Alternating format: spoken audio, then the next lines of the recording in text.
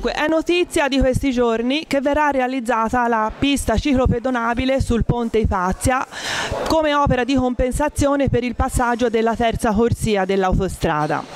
Noi siamo molto felici e orgogliosi che tutta la cittadinanza potrà ora usufruire di questa opera da noi proposta. E abbiamo portato avanti questa proposta politica con competenza e con ehm, molta caparbietà fino a che non è diventato un atto concreto. E infatti agli atti del Comune, della Regione, del Ministero delle Infrastrutture e dei Trasporti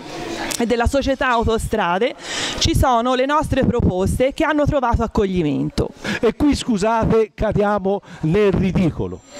in un ridicolo che diventa eh, quasi una commedia, mentre il sindaco Veligiardi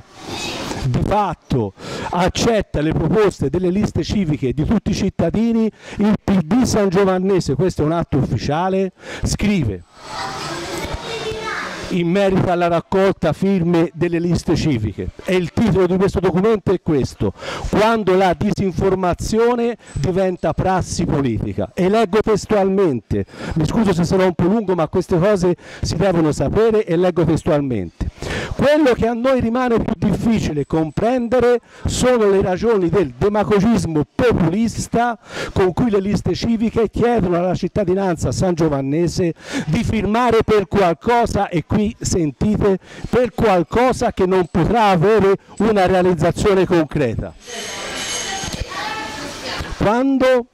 quindi di fatto non è possibile la passerella ciclopedonale e qui veramente a me scappa da ridere, ma a molti San Giovannesi dovrebbe scappare da piangere perché non solo si dice questo, ma si cerca anche di fare i simpatici, in quanto si scrive perché le biciclette non vanno in autostrada. Questo